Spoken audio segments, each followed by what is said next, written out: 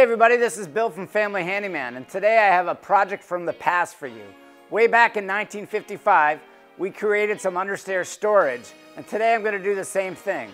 The area under the stairs is typically underutilized, so today I'm gonna create some convenient pull-out storage for everybody in the family to use. The design and concept is basically the same as it was way back in 1955, only the tools and the materials have changed. So let's get started. Before we tear off our wall covering, we want to get our trim off. I'm going to use a utility knife to score the top of the baseboard and pull that off.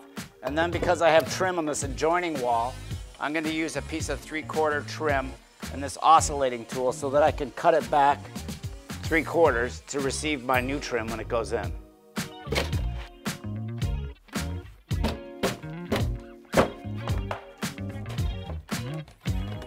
Got the studs out of the way now and cleaned up and reset. And the next thing to do is to divide the opening into three equal sections for our drawer boxes.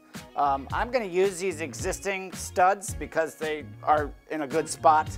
Um, you definitely wanna make sure that your wall is plumb so that your doors close the way you want them. Um, so I've already adjusted this to where it needs to be, but just make sure that that's nice and plumb. The next thing you want to do to make it easy for layout, once you've done your math for your openings, just cut a stud to the width of your opening. Put it up to your existing. This way you'll know that things are just where you want them. And make your marks. And then you can actually use the width of the stud if you want both sides, like this, to mark your other edge. And right here.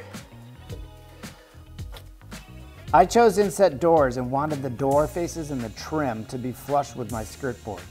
This meant adding half inch furring strips to the adjoining wall stud and the floor stud plate before attaching the trim. The drawer fronts or doors covered the other three studs, so they didn't need furring strips, just quarter inch thick trim. I primed and painted these trim pieces before applying them. Okay, it's time for drawer slides. I ordered these super heavy duty 500 pound slides, which are perhaps overkill. I think most of you could get away with a 200 pound slide, which might be a better option because that type of slide actually comes apart in two pieces. This is a one piece slide, which makes it a little bit more difficult to install. But we're gonna go ahead with it anyhow and show you how we put them in. Set the slides 3 16ths of an inch back from your finished faces and attach them to the supports. Make sure that they're level. So I finished a cut list for my plywood that I'm gonna build my boxes out of, my drawer boxes. Um, I decided to use half inch Baltic birch for the sides and the backs because it holds screws well, it finishes really well, and it, once it's sanded out, it, it has a nice appearance for the open edges. For the bases and the shelves, I'm using a three quarter veneer ply. Uh, that came pre-finished, so before I cut my parts out of my half inch ply, I actually pre-finished that with uh, water-based poly as well. Building in a diagonal opening is tricky, so I made a Luan plywood template here to make sure that my doors are the right size. I simply held the doors against the template right where I wanted them and check to make sure that they were the right size. Okay, so I've got my door or my drawer face cut out to the right size here, and I'm gonna apply the perimeter trim, this quarter inch by two and a quarter poplar. I wanna make sure that I keep my factory edge facing out. Um, and the easiest way to mark these instead of using a tape measure is just to put them in place where you want them and give them a mark for your cut line. You want to make sure that you cut your sides or your stiles first and then do your top and bottom, your rails after that. That way you don't see any ugly butt joints on your top and bottom pieces when you're done. I've got my drawer boxes installed now. I made a few adjustments so that they're operating smoothly and they're where I want them to be. It's time to install the drawer faces or the doors. What I do to do this is set the door on a couple shims on the bottom trim piece and then I've got two screws in here that are slightly protruding.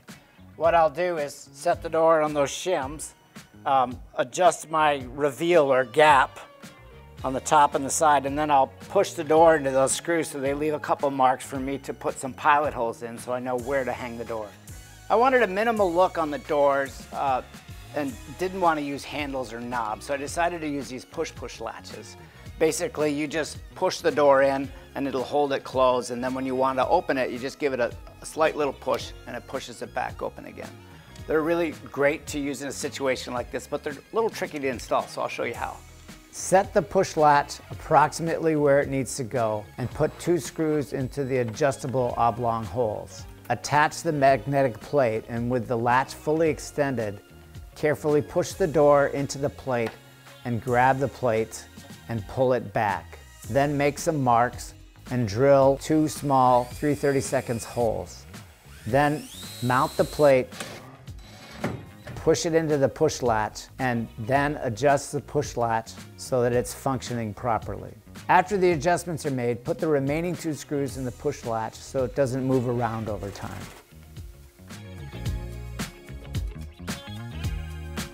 This is a really great project. I hope what I've shown you today will help you figure out how to gain some storage in what is an awkward and often unused part of the house under your stairs. For more great project ideas like this, visit us at familyhandyman.com.